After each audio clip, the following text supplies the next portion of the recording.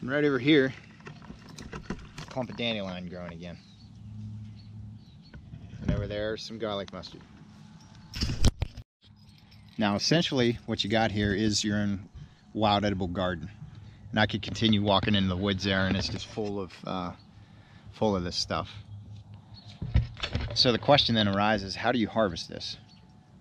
Well, if you're going to treat it like a garden, you want the stuff to grow back. So you don't want to be a hog.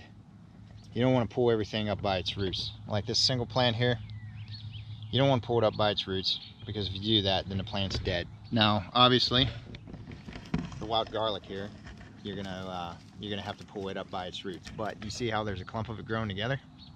Don't pull all of them, just pull a few of them and leave one or two together. Maybe even space some apart. Treat it like a garden. And uh, this stuff will keep growing for you then.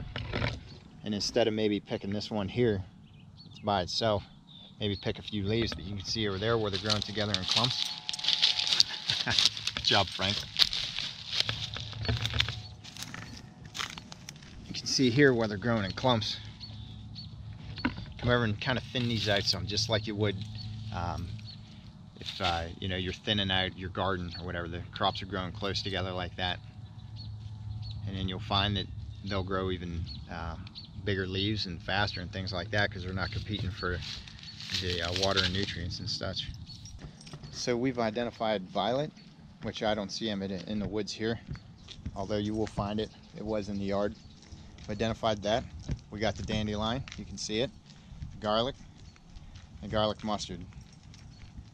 You can just see just as I'm walking here, right across the apartment, is how much of that's in here. There's other plants in here, but these are very easy to recognize. They don't have that any that I can think of. They don't have any poisonous lookalikes. A lot of people are disappointed. I've noticed whenever it comes to edible plants. A lot of times they want to learn some sort of exotic thing, and whenever you tell them stuff grown in the yard or right outside their uh, their apartment or their house, they get kind of disappointed because uh, a lot of times they spray this stuff or pull it as weeds and uh, you know this stuff you see every day. It's recognizable. And it's easy to uh, easy to remember and then it'll stick with you like right in there. There's garlic mustard all through there. Growing all through there. Just supplement your diet. You know you don't have to eat it for every meal depending on how much money you have so forth. I mean I would eat dandelion and plantain and stuff like that quite a bit whenever I was in college. Look right there you got a patch of that all through there. And of course Frank just pissed. So if you do harvest it by where you know people walk dogs just wash it. Get some soap and water clean it soak it. You know you want to take the extra precaution and cook it. You know, nothing wrong with that. They got a lot of recipes and books and things like that and all the nutritional facts, but every one of these is full of a lot of vitamins. And uh, they're really good for you. The taste, maybe not so much. Depends what you got a taste for. But, uh, you know, that's why they make salad dressing. So that's not really an in-depth plant identification, so to speak. I mean, I'd recommend you buy some good field guides and there's some good stuff on the internet. This is more just to show that, you know, you don't have to live out in the wilderness or on like a hundred acre homestead or anything like that to be able to go out and get these plants and things. So if, uh, if this whole situation going on across the country right now is, you know, kind of got you scared, like what are you going to eat and so forth, just, you know, yeah, start studying them plants and just start paying attention then to the yard of, you know, your house or your apartment or or what have you. And, uh, you know, just learn three. Learn three plants that are very common. You know, we showed a few of them here. I mean, just look at them all. Frank, he likes grass. He'll probably be, he'll probably be throwing up here at some point. But, uh, you know, even grass has a lot of minerals and stuff in it. But being we don't have four stomachs, you got to chew it up, spit out the pulp. So, but we do have chickweed right here. So, and look at there, there's some more garlic.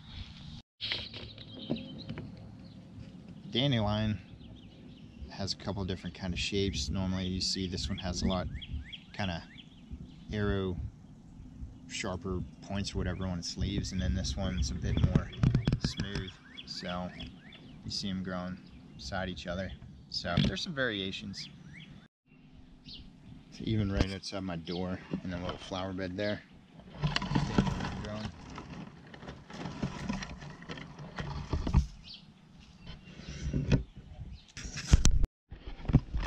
Now the preparation of the wild edibles and heck maybe you even try to learn medicinal plants too because a lot of those grow right out front your door too.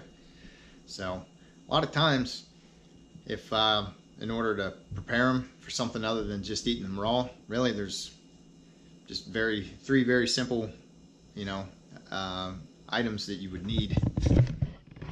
You can fry things medicinal you can make tea out of them or you can steam them or boil them. That's it. It's easy. You want to eat them raw? Just eat them as is. Use salad dressing. You know, you name it. So there's a lot of recipes out there. And um, yeah, like I said, this isn't an in-depth guide. This is more just let you know what's out there and just start learning. If you're laid off, you got a lot of downtime right now. Like I said, just pick three. Pick three plants that are familiar if you know everybody can identify the dandelion, so just study the dandelion, what its uh, vitamins and stuff that it has, and its medicinal qualities. Because pretty much the entire plant you can eat or make tea out of, make coffee out of the root, you name it. You can dry them, preserve them. I've canned different wild edibles before.